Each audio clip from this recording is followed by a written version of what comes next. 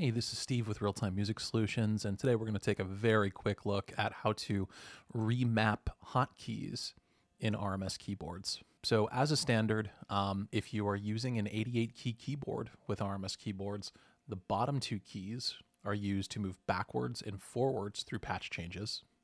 The top two keys are used to move backwards and forwards through the song list. Quick note if you are on the last setup of a song and you hit the patch forward key, you will automatically be brought to the first patch of the next song. So, remapping. Let's go into edit mode.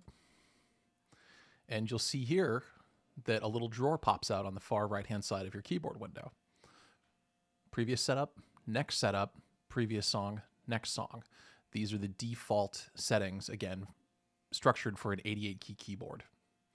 Um, if you don't have that 88 key keyboard and you want to change the keys, um, you simply click inside of the command that you want to remap and then hit the key on your MIDI keyboard.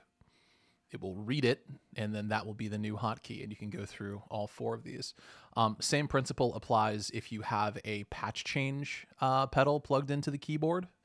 Um, you'll want to uh, tell your the interior of your uh, physical keyboard, you'll want to program it so that the patch change goes across a neutral MIDI message. Something like CC88 we find works well. Um, and then you would simply click into like the next setup box and tap that pedal.